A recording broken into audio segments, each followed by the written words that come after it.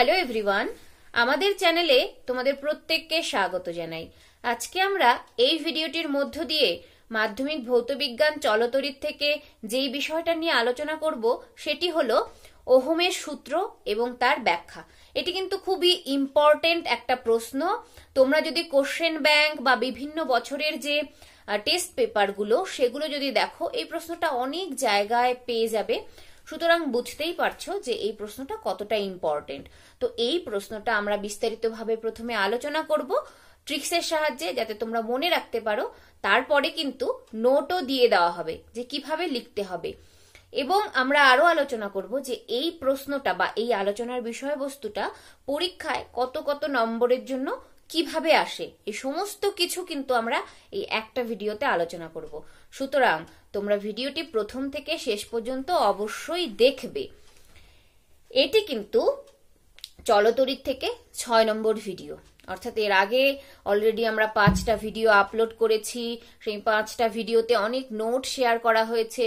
তোমরা যারা এখনও সেই পাঁচটা ভিডিও দেখনি, তারা সময় করে সেই পাঁচটা ভিডিও কিন্তু অবশ্যই দেখে নিও এবং সেখান থেকে নোটগুলো নিজেদের খাতায় লিখে নিও। এবার আরও একটা বিষয়ে তোমাদেরকে বলতে চাই। তোমাদের মধ্যে যারা আবৃত্তি করো বা কবিতা আবৃত্তি করতে ভালোবাসো, তারা আমার একটা রিসাইটেশনের চ্যানেল রয়েছে, সেই চ্যানেলে কিন্তু ভিজিট করতে পারো।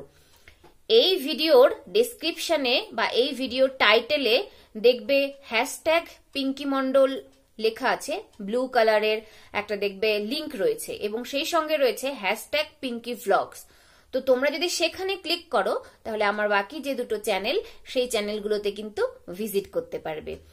তো আমার আবৃত্তির চ্যানেলে ভিজিট করো, সময় পেলে, এবং সেখানে কমেন্ট করে জানিও কেমন লাগল আমার রিসাইটেশন এবার তাহলে আমরা চলে যাচ্ছি আমাদের আজকের আলোচনায়। এই ভিডিওতে আমরা আলোচনা করব ওহমের সূত্র ও তার ব্যাখ্যা। এবং ভিডিও শেষে এই যে তোমরা নোটটা দেখতে পাচ্ছ, এই নোটটা তোমাদের সঙ্গে শেয়ার করা হবে এবং কোথার থেকে কত নম্বরের জন্য কতটুকু লিখতে হবে সেটা কিন্তু আমি ভিডিও শেষে বলে দেব। সুতরাং তোমরা ভিডিওটি প্রথম থেকে শেষ পর্যন্ত দেখতে থাকো। আমি ভিডিও শেষে বলে দেব যে কতটুকু থেকে কতটুকু তোমাদের লিখতে হবে কত নম্বরের জন্য। ঠিক আছে? তাহলে এবার আলোচনা শুরু করা যাক। ওহমের সূত্র এটা জানার জন্য আমরা প্রথমেই একটা ছবি এঁকে নিচ্ছি। মনে করো এ, বি একটি পরিবাহী তার। ঠিক আছে? A, B. এটা কি আঁকলাম আমি? পরিবাহী তার।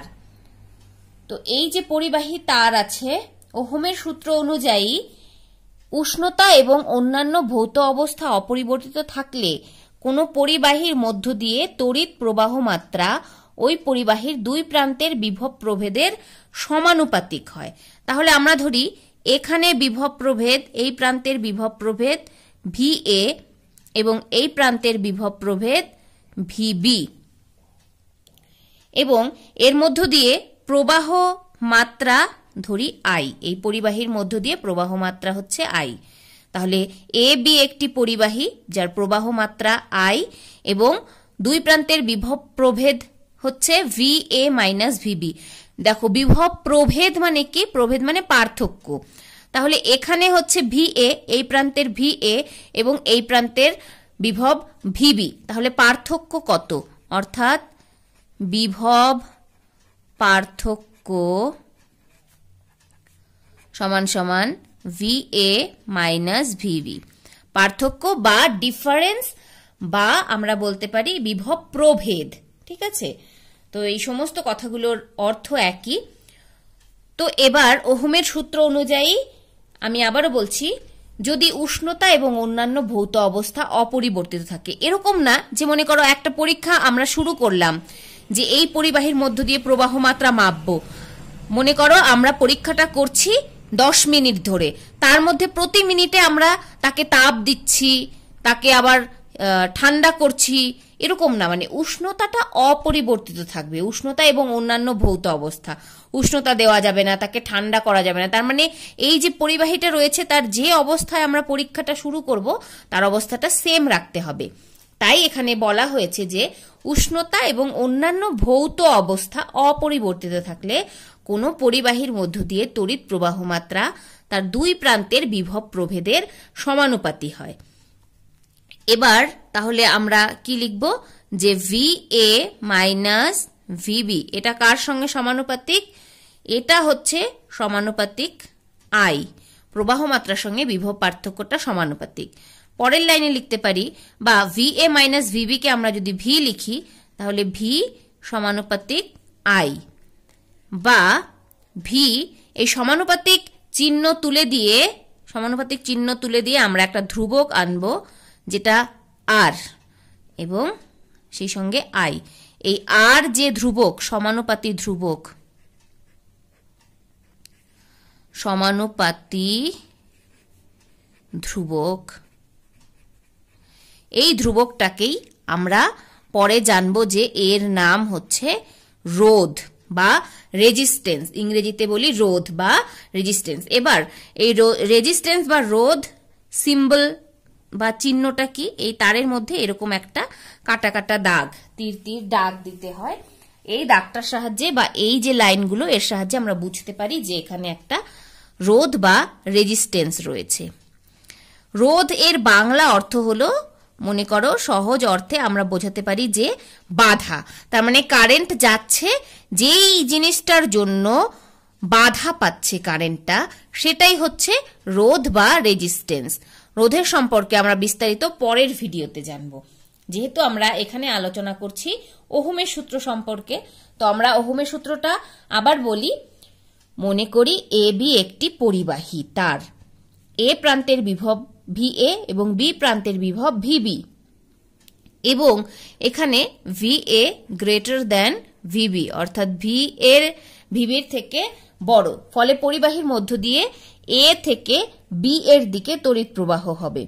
এবার প্রবাহ মাত্রা যদি আই হয়, তাহলে বিভব প্রভেদ V A minus V B যদি ভি হয়, তাহলে আমরা ওহমের সূত্র অনুযায়ী লিখতে পারি ভি সমানুপাতি আই ঠিক আছে? এবং সমানুপাতি উঠিয়ে দিয়ে আমরা একটা ধ্রুবক নিয়ে আসলাম, সেটা আর তাহলে আমরা লিখতে পারি ভি সমান সমান আর আই বা ভি সমান সমান আই আর এটাই কিন্তু ওহমের সূত্র। কেমন? তো আমরা ব্যাপারটা বুঝে নিলাম আলোচনার মধ্যে দিয়ে। এবার তোমাদের সঙ্গে নোট শেয়ার করব এবং বলে দেব যে কত নম্বরের জন্য আসলে কি কি লিখতে হবে। তাহলে দেখে নাও একটু। আচ্ছা যদি শুধু এক নম্বরের জন্য আসে, তাহলে কিন্তু তোমাদের এই সূত্রটা লিখলেই হবে। কেমন? যদি এক নম্বরের জন্য আসে, শুধু এই যে কথাগুলো, ওহমের সূত্রের যে এই তিন লাইন কথাগুলো আছে, এই কথাগুলো শুধু লিখবে। কেমন? এবার মনে করো যদি দুই নম্বরের জন্য আসে, তাহলে কি করবে? দুই নম্বরের জন্য আসলে এই ওহমের সূত্রটাও লিখতে হবে এবং এই ছবিটা আঁকাতে হবে এবং সেই সঙ্গে গাণিতিক রূপটা লিখতে হবে, ভি সমান সমান আই আর। এবং যদি সম্ভব হয়, এই কথাগুলো লিখে দিলে খুব ভালো। এবং যদি তিন নম্বরের জন্য আসে, তাহলে কিন্তু এখানে যেমন ভাবে লেখা আছে, সেটা প্রত্যেকটা কথা কিন্তু এরকম ভাবেই লিখতে হবে। ঠিক আছে? মানে ব্যাখ্যা সহ যদি তিন নম্বরের জন্য আসে পরীক্ষায়, তাহলে তোমাদেরকে এই ছবিটা আঁকাতে হবে এখান থেকে, ছবিটা আঁকিয়ে তারপর ওহমের সূত্রটা লিখতে হবে, তারপর এই যে এখানে লেখা আছে, মনে করি এ বি একটি পরিবাহী এ প্রান্তের বিভব ভি এ বি প্রান্তের বিভব ভি বি যেখানে V A greater than V B এই সমস্ত কথাগুলো কিন্তু লিখতে হবে। তার মানে এই টোটাল নোটটাই তোমাদের লিখতে হবে। বোঝা গেল? আমি আবারও বলে দিচ্ছি, এক নম্বরের জন্য আসলে শুধু এই কথাগুলো লিখবে, দুই নম্বরের জন্য আসলে এই কথাগুলো প্লাস ছবি এবং এই গাণিতিক রূপটা লিখবে। তিন নম্বরের জন্য আসলে এই সম্পূর্ণটা যেরকম আছে সেই রকম ভাবেই লিখতে হবে। বা তোমরা যদি মনে করো তোমাদের বই থেকে লিখবে, তাহলে তোমাদের টেক্সট বই বা নোট বই থেকেও কিন্তু তোমরা নিজেদের হিসেব মতো এই এখান থেকে একটা আইডিয়া নিয়ে যে বুঝে যাবে যে কতটুকু লিখতে হবে। কেমন? এবার তাহলে তোমরা নোটটা লিখে নাও। ধন্যবাদ তোমাদের সকলকে।